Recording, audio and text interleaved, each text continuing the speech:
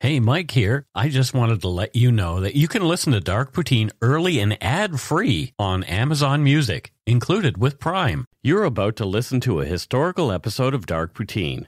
After episode 149, you will find Scott is no longer with the show. In an effort to maintain continuity and offer listeners as many episodes as possible, we are leaving the episodes in which he co hosted intact. Thank you.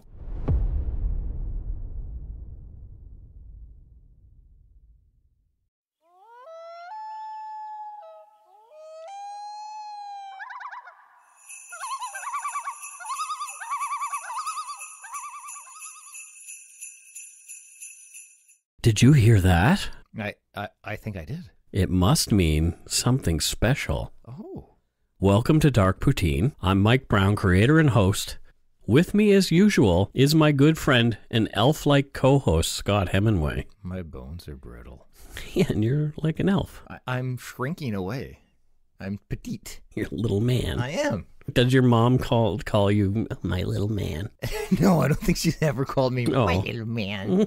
no. My mom used to call me monkey. Really? Oh yeah. I don't. I don't remember any uh, affectionate nicknames from my parents. Oh my god, that explains a lot. There you go. Serial killer.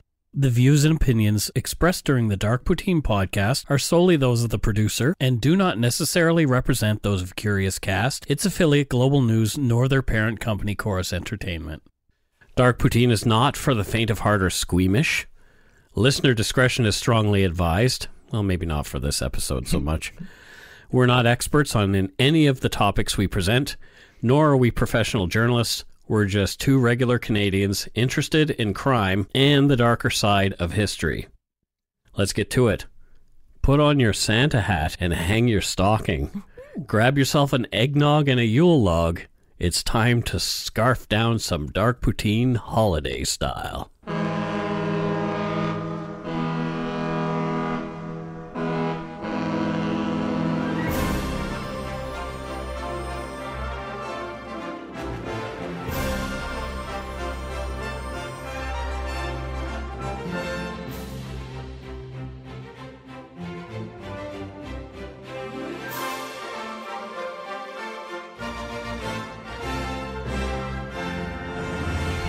Wow, we made it all the way to our second holiday special. Right?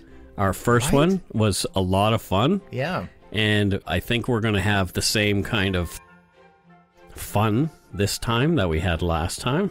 You mean serious topic? Oh my gosh, this guy is a horrible, Yeah. horrible, loathsome. Let's not diminish Yeah. what this man has done. Oh, And and speaking of, of eggnog, am I the only one who really enjoys eggnog? I love eggnog. Small doses, like I can't drink like a giant. Well, I can have a, like a big glass, but it's not like I can like oh let me go back for more. But my God, in, in the in the right amount of dose, it's great. I drank a lot of eggnog one time, but there was something else in it, Oh and I got very, very ill. oh, was it was it? It uh, was rum. streptococcal. No, it was rum. Oh oh. So I drank an inordinate amount of rum and eggnog one oh. time. So so much wasn't about the eggnog. well, That was just a vehicle to I'm get the certain it was in the eggnog. It had nothing to do with the Yeah, alcoholism. okay. All right, perfect. Yeah. Anyway, last year we talked about a serial burglar, St. Nicholas, or more commonly, Santa Claus. He's still at large and will most likely break into your house this Christmas while you're in bed farting away and dreaming of tomorrow's turkey. We got the real heavy hitter out of the way in that episode. No one has broken into more houses than that guy, and he continues to do so. Not to mention his reckless speeding across the sky every Christmas Eve with his sled whipping the crap out of his reindeer. We don't really want to revisit how he treats his elves either. Yeah, I mean, I was just uh, astounded by uh, What a, by, by the crimes that man committed. absolutely he what didn't follow labor rules. Oh, my God! All no, day, all night flagrant work. Disregard of Yeah, labor laws. they didn't get breaks, no, and they still don't. no. and They work year round. Who the hell's making those toys? And it ain't Santa. These guys are working year round. Sometimes there's blood on your toys Yeah? because their little fingers they've been bleeding. Yeah, I know. So, so, have you ever seen their little bloody fingers? It's really sad. It is sad. Yeah. This Santa Claus guy was also a murderer. He was responsible for the hit and run of an elderly woman who was walking home after a few rum and eggnogs with her family. She left behind a widower and a large family, uh, formerly deniers of Santa's existence. Her story is told in the very sad song "Grandma Got Run Over by a Reindeer." Yeah. Yeah, you can Google that, and uh, if you want to be horrified, It's uh, so it's so sad to just you know when you hear the tale, especially put put. It, Can you imagine like you find your grandmother with like paw prints up her face and and and sleigh marks on her back and no, and and then to have it put into a song that people sing every Christmas. yeah, they seem to take a little glee in Like, it. that's like they just- they're making fun.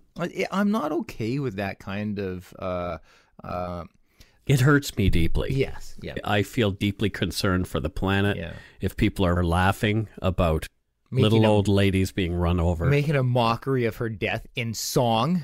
Not cool. No. If you haven't heard last year's episode, go back and give it a listen uh, uh, because we'll be taking a break uh, between Christmas and New Year's. So, yeah, Yeah. this will be our last episode of 2018. Wow. God, we, we made it through a whole year. Uh, another year. Even though the subject of this episode isn't quite the global perpetrator Santa is, he does take a page out of old Father Christmas's Book of Evil.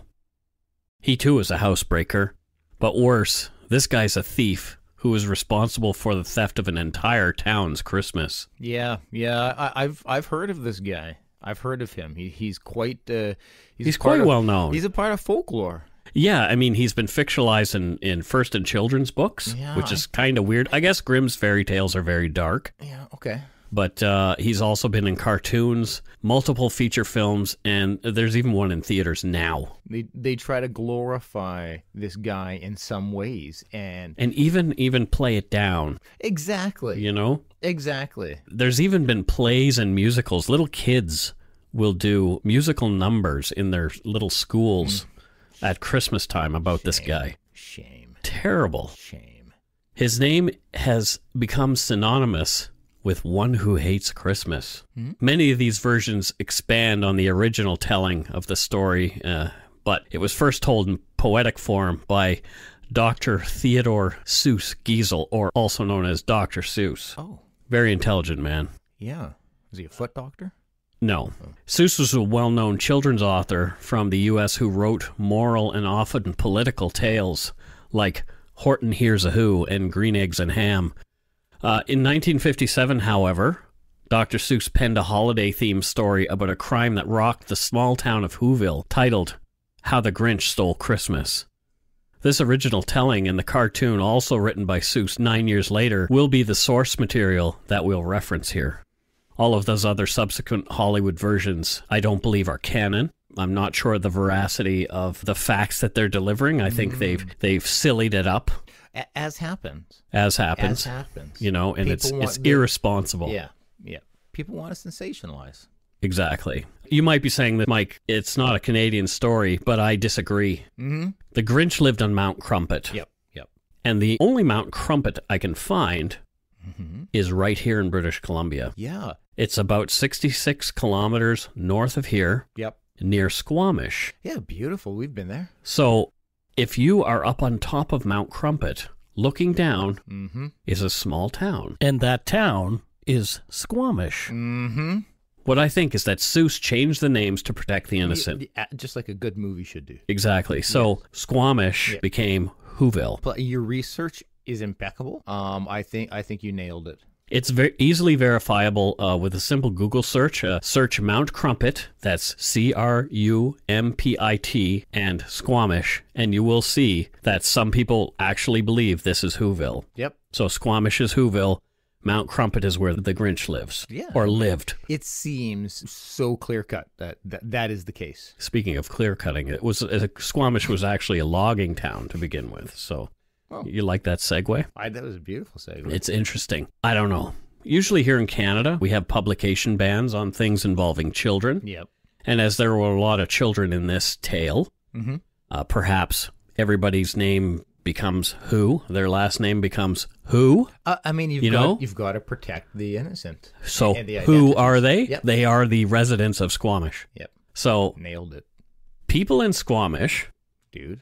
uh, sorry, people in Whoville are tight lipped about this case that happened sometime in, in the mid 50s, the 1950s, and when it was a logging town uh, of hardworking Who's. Okay, yep. Uh, I've chatted with some of the Who's in Whoville, and no one seems to remember these events. But uh, I'm not sure if everybody's being truthful with me. It might be that it was a long time ago, and there's no one left who really remembers. The older folks we spoke with, however, uh, were quite cagey. They would stare at me blankly or tell me I was off my rocker for asking them about this. Hmm. So, is it a cover up? Well, I think a few things. There's a there's a couple reasons why you wouldn't want it. The town wouldn't want to talk about it. You don't want looky loos. Right? You know, you don't. like It's like okay. we talked about it was- in the Ed Gein episode. We did. we did. Day. It's Yeah. like okay, we've been through enough. Like we don't. We want to move forward. Like let's. Uh, we we can't keep having people come in, Mike, and bringing this tale up, Mike. okay. So yeah, I you're mean, right. You're right. So I, I think like that. That's it. Uh, that to me stands out as, one of the key reasons why why they. So I don't know so much of it to cover up, but uh, that could be a, part of it. But I think they just they just want to move forward, man. So the name Grinch, Yeah. I looked up the name Grinch because it has to be some pseudonym of some sort. So I went to Canada 411 Yeah, yeah. uh, dot .ca and I looked there and there's no Mr. Grinches anywhere in Canada Oh, that I can see. In fact, it did bring up one hit for the name Grinch. And there is an, an actual Grinch Realties in Montreal, Quebec. oh. And so maybe they're relatives, or again, maybe they're familiar with the story and making fun. Oh, I hope it's not the latter. Well, I'm, uh, you know, people are irresponsible like that. So, it's true. Anything to get t- eyes on your companies. but maybe maybe we're completely wrong. I didn't call Grinch Realties because uh, I didn't want to deal with the negativity that I've been dealing with every time I ask somebody about Yeah, yeah. No, uh, Whoville. and do you think they're all going? Oh yeah, yeah. No, he was our great uncle. No, no, No. not. No. So here's a bit of the story.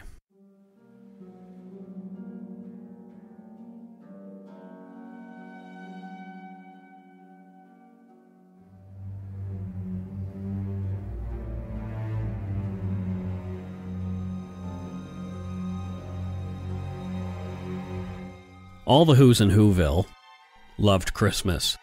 It was to them the most important holiday of the year. Decorating for the big day was not only a family, but largely a community affair. Standing heart to heart and hand in hand, they welcomed Christmas every year. They'd head off into the woods and cut down the best looking tree they could find.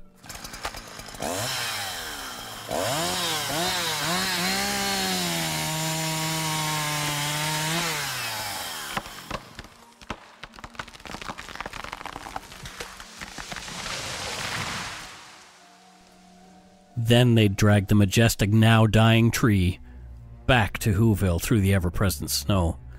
This is before global warming, obviously, due to clear cutting of this kind. Horrendous. I remember much more snow as a child. They'd erect the tree in the town square.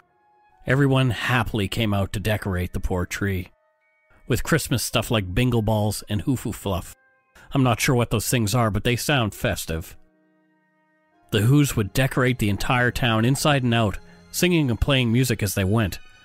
They'd decorate their pets and even each other. The sounds of their revelry could be heard for many kilometers in every direction, echoing through the valley and the mountains above. One neighbor of Whoville hated the festivities. He loathed the Who's and their happiness at this time of year. This is the person we know as the Grinch or Mr. Grinch. But that season, the Grinch had a plan. It was a scheme to ruin Christmas and break the spirit of the Who's once and for all.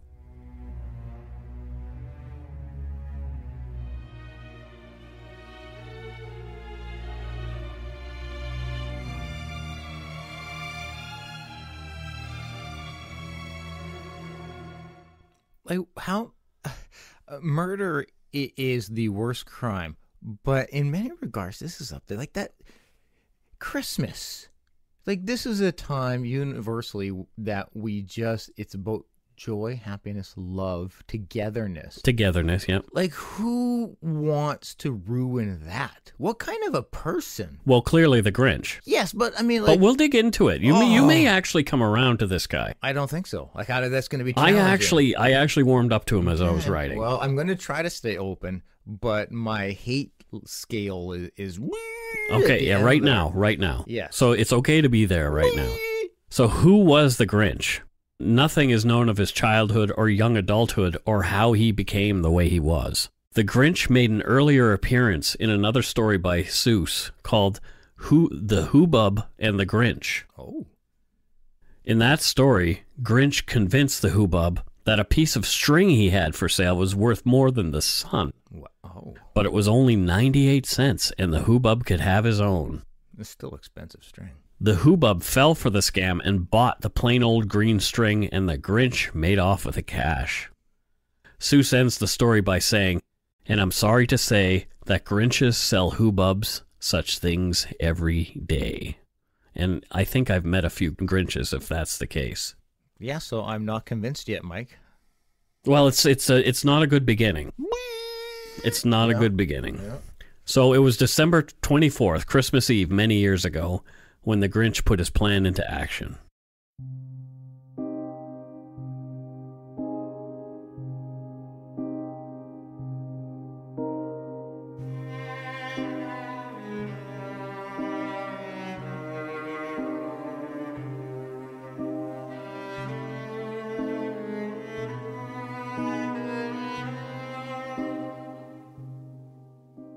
The Grinch was staring down over the valley, watching the Who's do their thing, wishing he could stop Christmas from coming. His major concern was the noise that came along with the holiday, as the children played with their toys and banging and singing. As well, the bells of the town would ring out incessantly until the whole town gathered around the huge tree in the square to sing carols. This made him crazy. From Dr. Seuss' story, Every Who down in Whoville, the tall and the small, will stand close together with Christmas bells ringing. They'll stand hand in hand, and those Who's will start singing. They'll sing, and they'll sing, and they'll sing, sing, sing. The Grinch's hate of noise could indicate a seriously debilitating case of misophonia. According to misophonia.com, the definition of misophonia is hatred of sound, but a person with misophonia does not hate all sound. They're only sensitive to certain sounds, and those sounds are usually unique to each person. So, Christmassy sounds for the Grinch. Pretty much any sound can become a problem for a person with misophonia. Often, these sounds are some kind of background noise. Another common type of trigger sound is mouth and nasal noises, chewing, sniffing, etc. Perhaps for the Grinch, the joyful sounds of Christmas were actually painful. We in no way mean to offend or minimize the experience of actual sufferers of misophonia. We're aware that the pain some people feel upon hearing certain sounds is real, and we personally know sufferers. We are simply trying to explain the behavior of the Grinch and want to leave no stone unturned. The Grinch had an idea. What if he stole Christmas? No, that's a stupid idea. Well, why would anyone want to do such a thing? Well, I guess maybe to shut up the no to shut the noise off, but Exactly. also because he's a jerk. Well, what do you think was wrong with this person? What? Oh, clearly, maybe if we're gonna dig into this, some childhood traumas. You know, maybe he was, uh, he never got a Christmas. He he was always, um, uh, he was beaten viciously at Christmas time. Well, and so those tri- things would be horrible. they would be, but they don't justify thefting Christmas from everybody in Whoville. By taking away every tree, ornament, decoration, and gift, he might be able to prevent the noise that he claimed to have been torturing him for 53 years. There have been many attempts to determine which sort of psychological and physical issues the Grinch may have been tormented by. We've already talked about misophonia, which could have been just one of the plethora of problems the Grinch was saddled with. Yep, still no sympathy from me. I love Christmas. My kids love Christmas. Screw this guy. So it was also said that his shoes were too small. Then get bigger shoes. Some people even said that his head wasn't screwed on quite right. That could have been metaphor, though. You know? I'm I'm thinking so. I mean, I don't think he was uh, assembled. Probably one of the best descriptions of the Grinch comes from the song You're a Mean One, Mr. Grinch. Mm-hmm. And it was sung by the amazingly deep voice of Thurl Ravenscroft. What a great name. That is fantastic. Uh, Ravenscroft also spent over 50 years as a voice behind Kellogg's Frosted Flakes spokesman Tony the Tiger. Oh my god! They're really? great. Oh, I I love that man. Well, we'll break down a few of the song's verses to better understand the Grinch's twisted psyche and what he might have been about. So it begins You're a mean one, Mr. Grinch. Clearly, I agree. maybe people had had other experiences with him that made him appear mean too. You really are a heel. You're as cuddly as a cactus. You're as charming as an eel, Mr. Grinch. Uh, which are not cuddly nor charming. No, so he had a crappy personality and was prickly and had no charisma. Exactly. I concur. It's also said that he was a bad banana with a greasy black peel. Oh my god, that's the worst. It sounds like a bad apple. He does. He he couldn't get in the Ember Yard. N- well, I would let him in. Oh my god, Mike. Then you deal. If he him. could answer the questions. then you deal with him. Yeah, fair enough. Well, at the very least, he was grumpy. Yeah, clearly. The next verse goes You're a monster, Mr. Grinch. Oh, Your heart's an empty hole. Your brain is full of spiders. You have garlic in your soul, Mr. Grinch. well, now if those were actually physical uh, ailments that he suffered from, I I have some empathy. I think that's more metaphor. Oh, An empty Oh, oh, heart and oh, a brain okay. full of spiders and a garlic in his soul could indicate major depression. wow. And I can I can empathize with that. Perhaps he suffered such a terrible case of seasonal affective disorder or SAD. That would go a long way to explaining his particular loathing for Christmas. Er, I think we need to recognize though that understanding doesn't mean agreeing. I- understand that might be. I have been personally diagnosed with seasonal affective disorder. You see this light I do. here that I have to use every day, Yes. otherwise, I go insane Yes, but that and I become grumpy. And I understand that, Mike, but that if you wanted to steal Christmas from everybody, I still wouldn't be cool with it. I, Well- I could under, understanding and agreeing or different. If only I could have bought the Grinch a light Where would he plug it in? He lives on a bloody mountain. in a cave. yeah. From MayoClinic.org's article on seasonal affective disorder, SAD begins and ends at about the same times every year. Oh, If you're like most people with SAD, your symptoms start in the fall and continue into the winter months, sapping your energy and making you feel moody. Less often, SAD causes depression in the spring or early summer. Treatment for SAD may include light therapy, medications, and psychotherapy, all things that I endorse and have made me feel better. see, so you seek treatment to improve those. He didn't. I mean, I get it at different times. Well, it was the 50s. I get that, but he, he he's not doing anything. Here's some signs and symptoms of seasonal affective disorder. Oh God, I'm afraid I'm going to be diagnosed after this. Feeling depressed most of the day, nearly every day. Losing interest in activities you once enjoyed. Having low energy. Having problems with sleeping. Experiencing changes in your appetite or weight. Feeling sluggish or agitated. Having difficulty concentrating. Feeling hopeless, worthless, or guilty. And having frequent thoughts of death or suicide. So I think that's what the Grinch was going through. There's no way that anybody who is miserable as him is not depressed. I, I don't disagree, Mike. I just it He needed help, Scott. It just doesn't justify his actions. Is all I'm saying. I get that, but he that doesn't make it okay for him to behave the way. I'm not justifying his behavior. I am just trying to It seems like you are. to help explain it, Fine. to humanize him, Okay, okay. To degrinchify him. I, get what you're doing. From a CBC article, the Grinch appears to be suffering from an almost textbook case of antisocial personality disorder with depressed mood, said Todd Hill, a clinical psychologist in Halifax. Symptoms include failure to conform to social norms, Yeah, deceitfulness, yeah. Irritability, and aggressiveness. That is the best description I think I've ever seen of the, the Grinch. Textbook antisocial disorder with a depressed mood. Yeah, no, I agree. I, I, I, I can support that. Christmas can bring out the worst in most people, said Hill, noting all of his clients in the last three weeks have complained about stress and pressure they feel to buy, visit, and fulfill some impossible ideal of holiday happiness. It's a stressful time of year. Yeah, I don't I don't disagree. And I felt that like that for years. Yeah. Yeah, I I can I me too. I get it. There are some stranger points with the Grinch too. He's green. This, I mean, this is something we need to get to the root of. So here's what I think causes the green color. Oh, okay. I think I can explain this very, very well. Okay, okay. So another more telling verse of You're a Mean One, Mr. Grinch calls him a sinful sot. A sot, according to Webster, is an alcoholic or habitual drunkard. Yeah. Perhaps this was his method of self medicating his depression. yeah probably. Um, if he had been doing it for as long as he claimed uh, to be suffering, even 40 of those 53 years would be hell on his liver, Yeah. and he could be suffering from cirrhosis of the liver, Oh. which is a real and eventually deadly result of chronic alcoholism. Yes, yes. Uh, if he was suffering from cirrhosis, he would be jaundiced Okay. and taking on a yellowish hue. Correct. He's here. We have yellow. We got yellow. Yes, not green. It was also rumored that his heart was three sizes too small. Yeah. So he may have been suffering cyanotic congenital heart disease. So sufferers take on a bluish hue.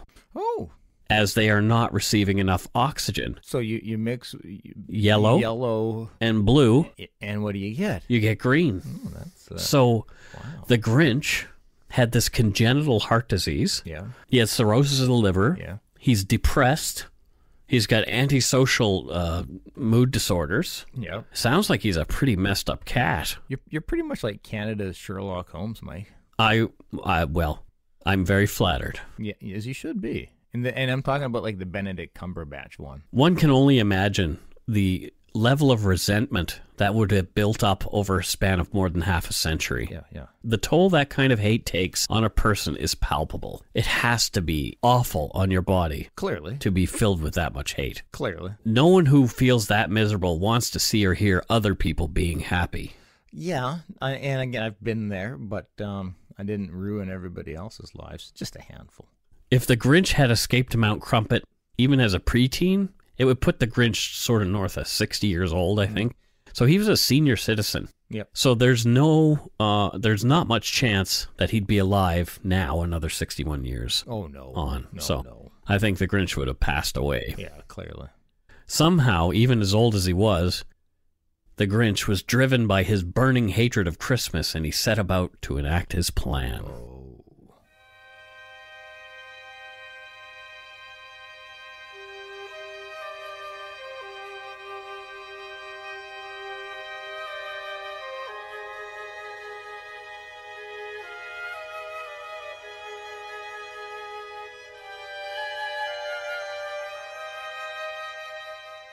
First, he thought if he were to dress as Santa Claus, he'd be able to explain his presence to anyone in the town that night. Very deceptive. With his dog Max acting as forced labor, the Grinch created a Santa suit from crap he had laying around in his cluttered and dirty old cave. Not having a reindeer, the Grinch tied heavy antlers to Max's head. He went to work in the dark. He loaded up his busted old sled with empty sacks and a ladder, again forcing Max into service pulling the sled. A poor dog. This was unnecessary as the momentum carried the sled down the side of Mount Crumpit quite easily.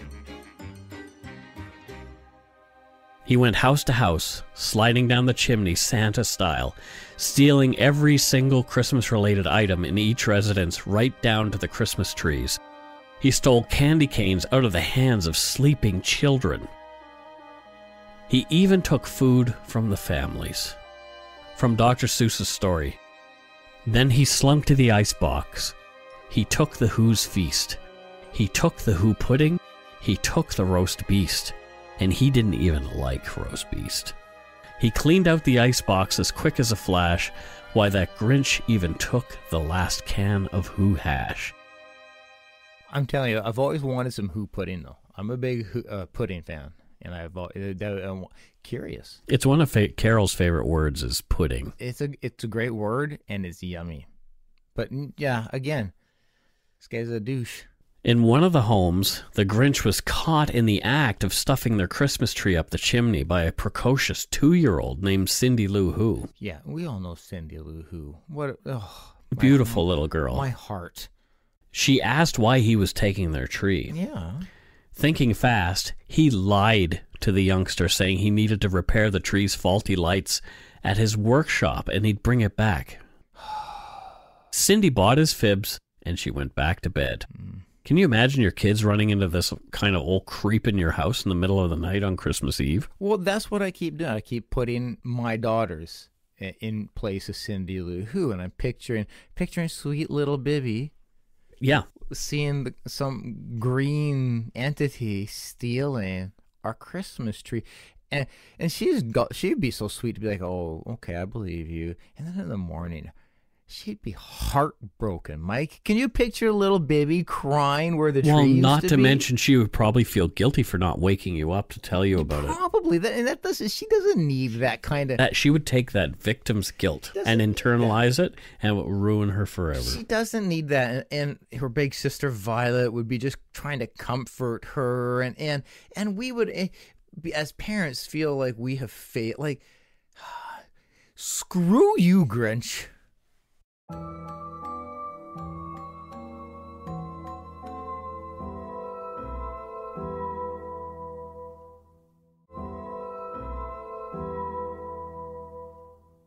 The Grinch finished his work, stealing everything Christmassy from every home in Whoville, and he loaded it all onto his sleigh. He took all the outdoor decorations as well as the large tree from the town square. He took those infernal bells too, so the Who's would have nothing to ring. The population of Whoville at the time must have been around 5,000, so it had to be quite a haul of thousands of kilograms piled up on his sled. It's unclear how he got everything back up to the top of Mount Crumpit. Seuss claimed 10,000 feet, but I think that was poetic license that he was taking, as the summit is just over a thousand feet. His dog Max was the size of a beagle. It's hard to imagine the extremely vicious amount of whipping that would have enabled such a small dog to get up this mountain, which is very steep in parts. Some believe that the Grinch may have been using a snowmobile or another vehicle of some sort to move such a large load so high up.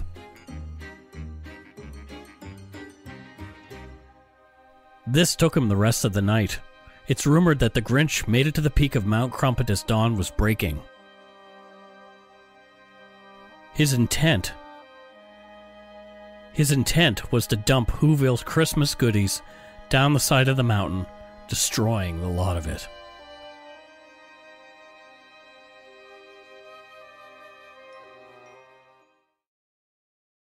So you, you nobody's ever mentioned it, and you you haven't mentioned it. But what about the thought of a, of an accomplice or two?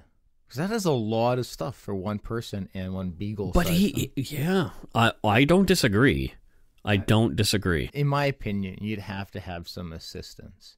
I wonder if any Maybe of- there were only four houses in Whoville at the time. I wonder, I wonder if Santa's elves were actually Oh, some that's disgruntled elves helping out. could have been. You know, because they're probably pretty pissed about Christmas.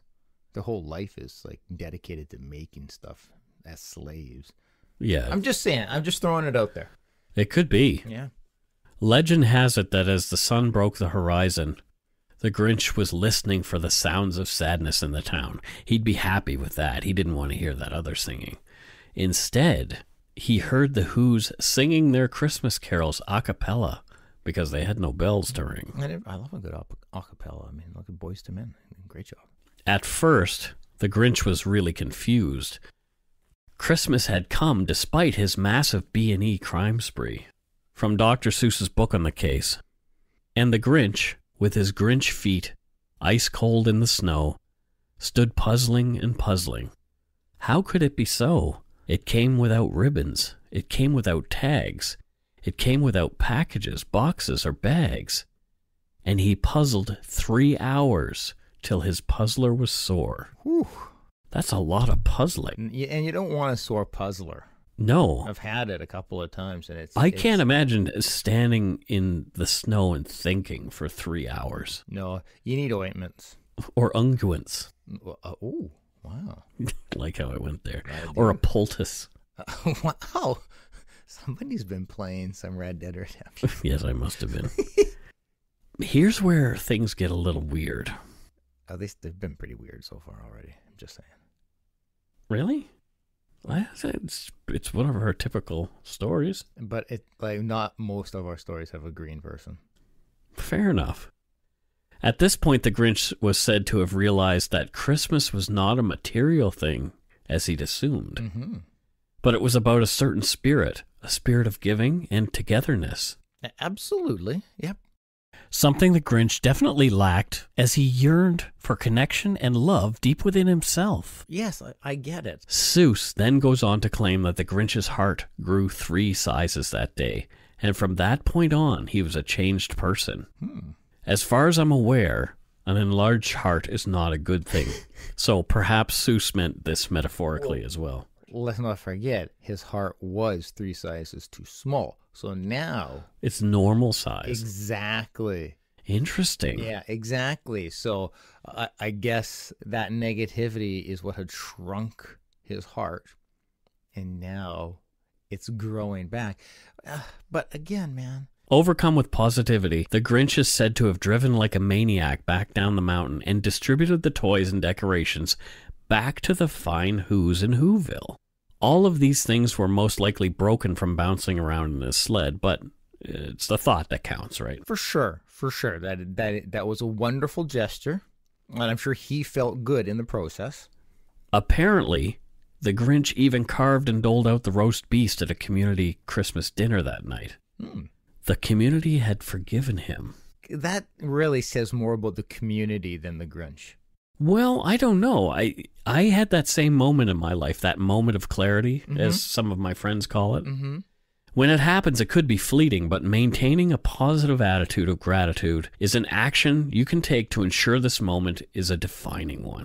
William James, American philosopher, psychologist, and author, wrote a book called The Varieties of Religious Experience about spiritual conversions, both sudden and of the educational variety. He said that the characteristics of a spiritual experience are, quote, a paradise of inward tranquility seems to be faith's usual result.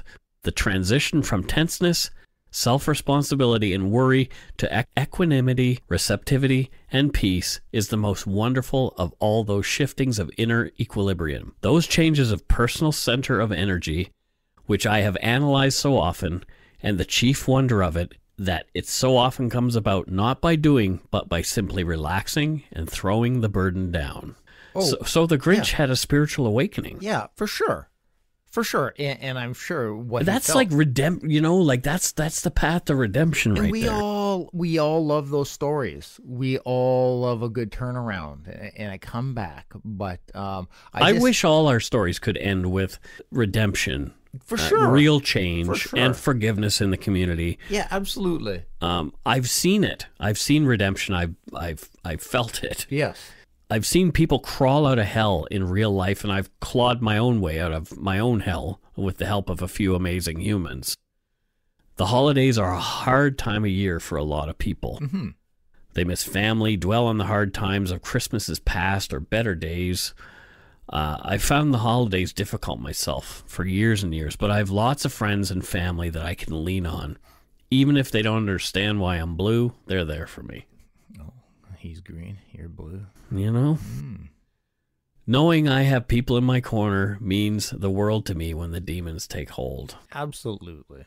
So mm, that's all the Grinch needed was just some people behind him, maybe. Maybe his realization, it said that he never behaved the same again. That it did take him into, uh, I, you know, I think he did the toy drive with the with the bikers and stuff the next year, and uh, And, and again, I I love a good redemption story, but uh, and you he, know- he he he began in uh, Cindy Lou Who's lawn, yeah, mowed it every every few weeks.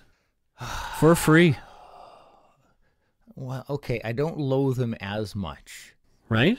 uh, you know. Um, So you got like, here's the thing, the guy did his time. did he? Well, he, he made amends to the to the to the town.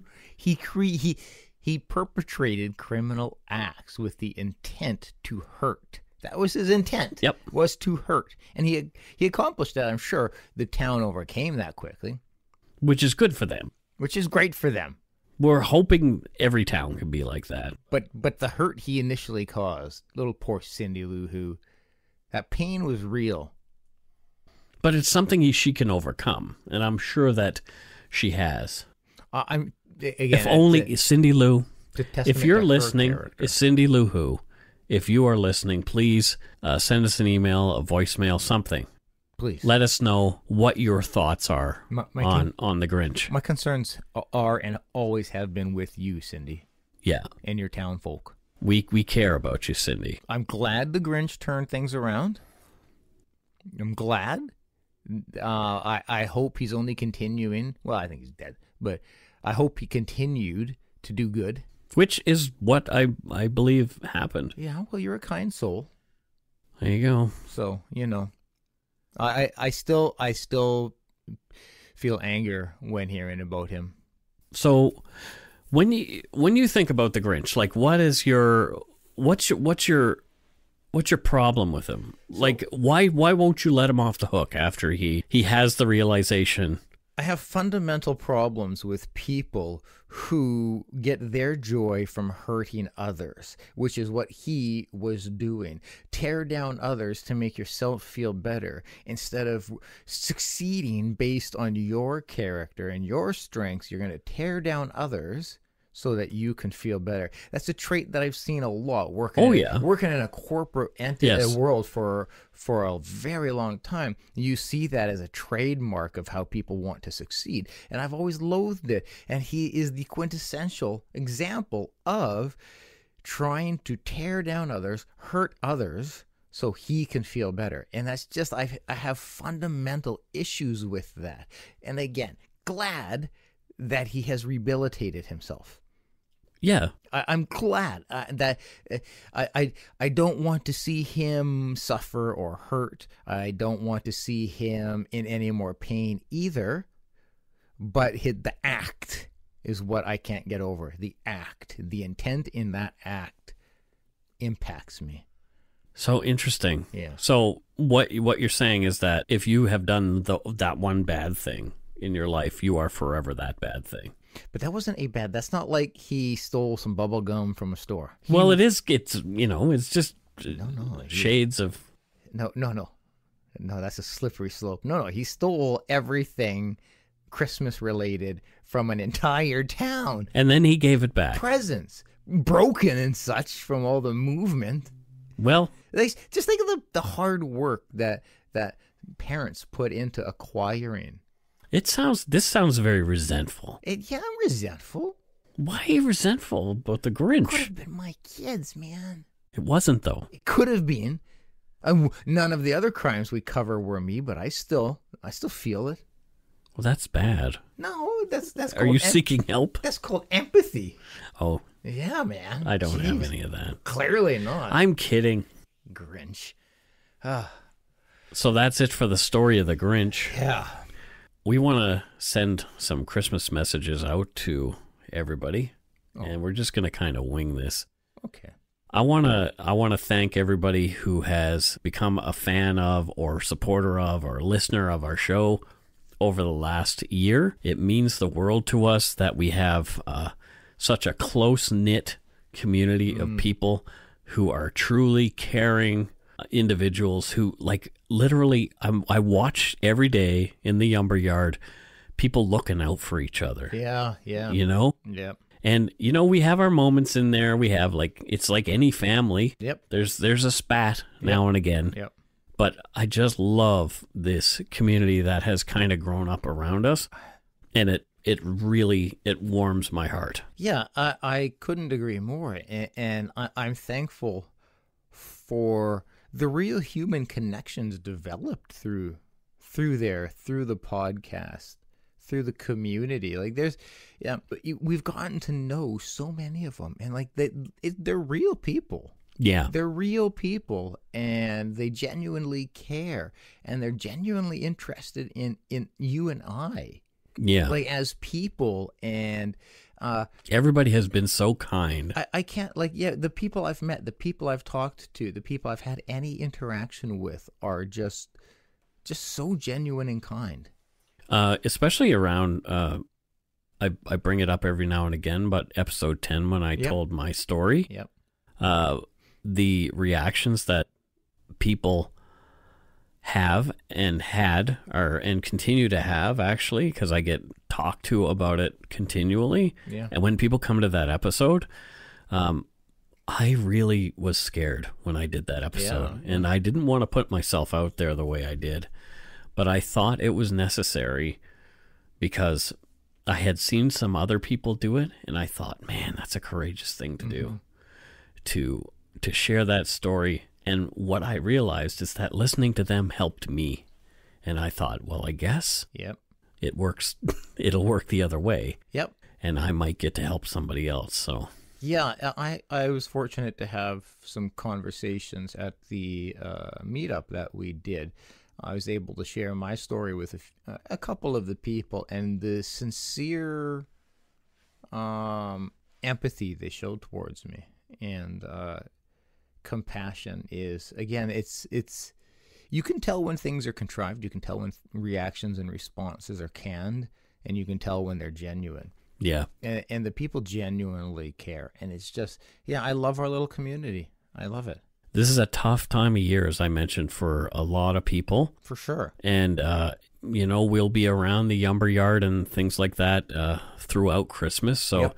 if you if you need to chat come on come on in there and like let's have a conversation. Yep, you're you're not alone. You don't have to be alone at christmas time. If you can just yap with us in a facebook group it's probably going to make you feel better. Absolutely. We'll to- we're- we will totally be there. Yeah uh, i'm i'm really looking forward to uh, our new year. I've got some really big ideas that we want to tackle in the new year as far as uh, canadian cases. Squee. And some more away games as well. Yeah. so it's going to be a good year. 2019 woo, woo. yeah. It's going to be it's going to be our year buddy. Taking over. Well i guess so. We're gonna take over. But wait there's more. I wrote a little poem based on the night before christmas. Mm-hmm. Here goes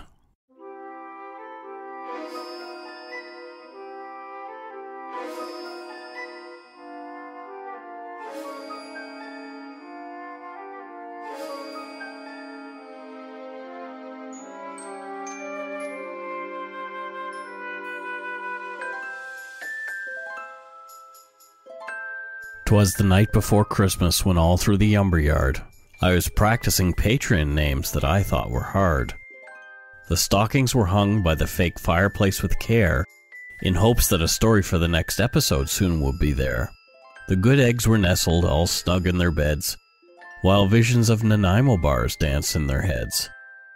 Carol in her PJs and I in my toque, thinking about my browser history making me look like a kook. I was reading an article dealing with blood spatter when I was surprised by a photo of someone's brain matter. Away to the toilet, I flew for a barf, and when I got there, I threw up on my scarf. My barfing woke Carol, who jumped out of bed. She ran up the stairs, thinking me dead. No, there I was, head hung over the crapper. She snapped a quick photo of my looking so dapper. Into the lumber yard she went, posting the pic. She continued to giggle as I was real sick. Just then came a knock, unexpected that late. Carol yelled to the knocker, Hang on, please wait. Carol bounced down the stairs to go say hello. I had stopped barfing, my legs still jello. I wobbled down too as Carol's eyes filled with wonder. Standing there in the doorway was Scott, back from down under. His pale skin was blistered and burned to a crisp. He'd gained no weight at all, he was still a wee wisp. Welcome back, I said, but why are you here? He said to wish you Merry Christmas and a Happy New Year. I pointed to the clock, noting it was quite late. Scott frowned, looking sad, and said, Sorry, mate. He came inside anyway and opened his bag. He explained he couldn't sleep, he had awful jet lag. He opened a satchel, and out came the goodies some Tim Tams for Carol, and a couple of hoodies. Scott grinned as he dragged out the last thing, which gave me a fright. From his backpack, he pulled a huge jar of Vegemite. You put it on toast, he said with a shit eating grin. I grabbed it from him and threw it right in the bin. We laughed and we hugged and we said, Welcome back. We have stories for the new year. We'll be right back on track. After the hugging, Scott gave his high fives. Then he ran to his Mazda, double parked in the drive. He gave us a yell as he drove out of sight. Happy Christmas to all, and to all a good night. Before we go, we want to give some shout outs to our new patron patrons. As we recorded this episode ahead of the Christmas break, it'll just be me thanking this week's patrons and PayPal supporters of the show. So, Scott wants to say thank you in advance. Thank you. There you go. So, this week's good eggs are our good eggs this week are Stacy McLeod from Mississauga, Ontario, Dino Champlon, India, Julie Marion from Guntersville, Alabama, Allison Bray, Jerry O'Brien, Kate Watros, and she's from Erickson, Manitoba. Harry Sims, our good buddy on social media. Thanks, Harry, from Sacramento, California. Shawneen Peacock, and she's from Prince Albert, Saskatchewan. Wesley DuPont from Charlottesville, Virginia. Heather Powell from Schwenksville, Pennsylvania. Well, how about them apples? Tim Arbiter from Merritt Island, Florida. Rachel Irvine from Beatrice, Nebraska. Emily Garton. Beth Garipsy Zumwalt. And she's from Walkie, Indiana. Holly Pagnoson Conravery. And she's from East Atlantic Beach, New York. Christelle Johnson from Rogers, Arkansas. Last week I made a mistake with Alaska and Arkansas. I'm really sorry I did that.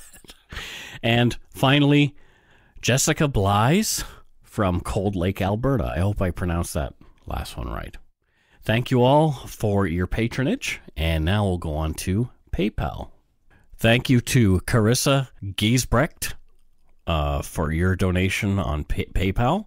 Dwayne Burke, Amanda Fenner, and Johanna Lemska. Thank you so much for supporting the show. We really, really appreciate it. Thank you so much to our patrons, past and present, for your pledges. We really appreciate your support of the show. If you want to help support the show, you can do so at patreon.com slash darkpoutine.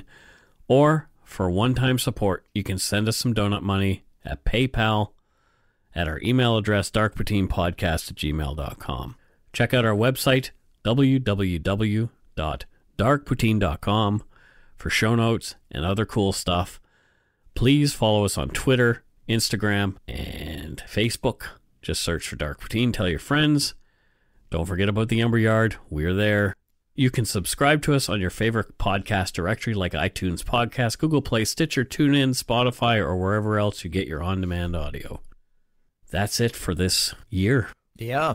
Wow. We are done another year in the bag. Wow. So, happy holidays. Hanukkah's already done by this by the time this episode drops. Happy Kwanzaa, whatever it is that you're celebrating, even if it's just breathing in and out or Festivus for the rest of us, Ex- we wish you a merry one. exactly. We want everybody to just be as happy as possible. If you can be, do it. Yep.